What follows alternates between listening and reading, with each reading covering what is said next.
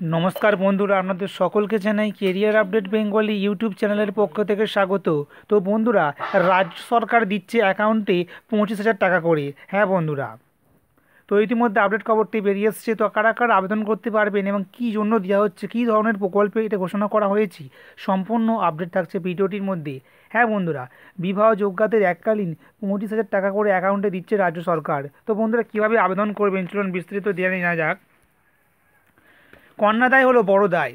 বিবাহযোগ্য কন্যার বিয়ের খরচ জোগাতে পথে বসেন অনেক বাবা মাই সেই দায় থেকে কিছুটা মুক্তি দিতে রাজ্য সরকারের তরফ থেকে রূপশ্রী প্রকল্পের সূচনা করা হয়েছে। কন্যাশ্রী প্রচারের আলোয় আসা সকলের কাছে প্রশংসিত হলেও রূপশ্রী প্রকল্প সম্পর্কে অনেকেই জানেন না। তো রূপশ্রী প্রকল্পটি হলো একটি এমন প্রকল্প যেখানে বিবাহযোগ্য মহিলাদের এককালীন পঁচিশ হাজার টাকা দেওয়ার কথা ঘোষণা করা হয়েছে। আর্থিকভাবে দুর্বল পরিবার যারা নিজের মেয়ের বিয়ের খরচের জন্য টাকা জোগাতে পারছেন না বা বলা যেতে পারে যে তাদের শেষ পুঁজিটুকু গুজার করে দিচ্ছেন, দিনার জালে জড়িয়ে পড়ছেন, তো এরকম দেখা গিয়েছে। তো তাদের জন্য এই প্রকল্পটি ঘোষণা করা হয়েছে। সেই সমস্ত পরিবারকে এককালীন পঁচিশ হাজার টাকা করে দেওয়া হবে সরকারের তরফ থেকে। তো এবার দেখে নেব যে এই প্রকল্পের যে রয়েছে, এই প্রকল্পের টাকা কারা কারা পাবে? তো বলা হচ্ছে বিয়ের জন্য এককালীন পঁচিশ হাজার টাকা পাওয়ার জন্য আবেদনকারীকে অবশ্যই এই শর্তগুলো পূরণ করতে হবে। এক, আবেদনকারীর বয়স আঠেরো বা তার বেশি হতে হবে। আবেদনপত্র জমা দেওয়ার আর সময় তাকে অবিবাহিত হতে হবে। প্রথম বিবাহের জন্যই আবেদন করা যেতে পারে।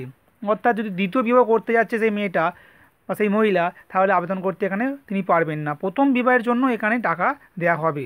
আবেদনকারীকে পশ্চিমবঙ্গে জন্মগ্রহণ বা বিগত পাঁচ বছর ধরে রাজ্যে বসবাস কিংবা প্রার্থীর মা বাবাকে রাজ্যের স্থায়ী বাসিন্দা হতে হবে। বার্ষিক পারিবারিক উপার্জন এক লক্ষ পঞ্চাশ হাজার টাকা বা তার কম হতে হবে। পাত্রের বয়স একুশ বছর বা তার বেশি হতে হবে। আবেদনকারী, অর্থাৎ যিনি আবেদন করছেন সেই মহিলার একটা ব্যাঙ্ক অ্যাকাউন্ট থাকতে হবে, অর্থাৎ নিজের।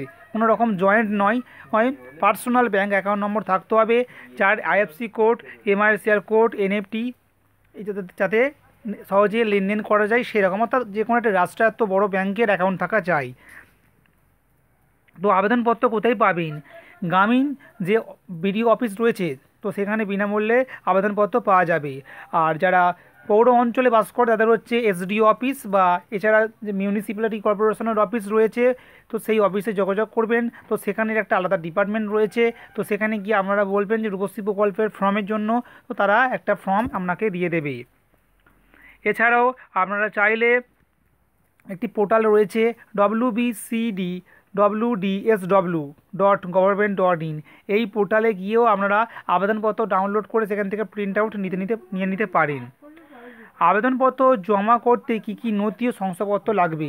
তো আবেদনপত্র জমা করার জন্য যেটি করতে হবে, এক, বয়সের প্রমাণপত্র হিসাবে জন্মের নথি, voter ID card, PAN card, মাধ্যমিকের অ্যাডমিট কার্ড, আধার কার্ড বা স্কুল ছাড়ার সরকারি নথি জমা করতে হবে, নিজে সই করে জমা করতে হবে। তো বন্ধুরা, এখানে যে এতগুলো তথ্য দেওয়া হয়েছে বা এতগুলো ডকুমেন্ট চাওয়া হয়েছে, এগুলো সব কিন্তু নয় যে কোনো একটি এখানে ডকুমেন্ট আপনাকে সই করে জমা করতে হবে।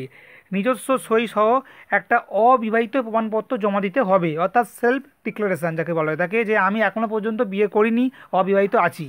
এরকম একটা সেলফ ডিক্লারেশান আপনাদেরকে জমা করতে হবে। পারিবারিক বার্ষিক আয়ের প্রমাণপত্র একটা জমা করতে হবে, যেটা আপনারা যদি পৌরসভা এলাকায় বাস করে থাকেন, সেক্ষেত্রে পৌরসভা এলাকায় যাবেন তো সেখানে মিউনিসিপ্যালিটি অফিসে গিয়ে একটা জায়গা বলা থাকে ইনকাম সার্টিফিকেট তো সেই ইনকাম সার্টিফিকেট একটা নিয়ে আসতে হবে। এছাড়া যদি পঞ্চায়েতের বাসিন্দা হয়ে থাকেন, তো পঞ্চায়েতে গিয়ে একটা ইনকাম সার্টিফিকেট নিয়ে আসতে হবে। তো সেটা এখানে অ্যাটাচ করতে হবে ওই ফর্মের সঙ্গে। আচ্ছা চার নম্বরে বলা হচ্ছে, স্থায়ী ঠিকানার প্রমাণপত্র জমা করতে হবে আবেদনকারীকে। অর্থাৎ যেখানে বাস করছেন তার প্রমাণপত্র, অর্থাৎ সেটা করতে পারে ration card, voter card, Aadhaar card তো এগুলোতে আমাদের ঠিকানা উল্লেখ থাকে। তো এইগুলো একটা প্রমাণপত্র আমাদের। তো এইগুলোর মধ্যে যে কোনো একটি প্রমাণপত্র আমাদের জমা করতে হবে। আচ্ছা সবচেয়ে যেটি ভাইটাল রয়েছে সেটা হচ্ছে ব্যাঙ্ক অ্যাকাউন্ট তো বন্ধুরা ব্যাঙ্ক যে অ্যাকাউন্ট রয়েছে, সেই ব্যাংকের অ্যাকাউন্ট যে পাসবুক সেই পাসবুকের প্রথম পৃষ্ঠার জেরক্স আমাদের দিতে হবে। কারণ টাকাটা ব্যাঙ্ক অ্যাকাউন্টে পাঠানো হবে। হাতে কোনো রকম ক্যাশ টাকা দেওয়া হবে না।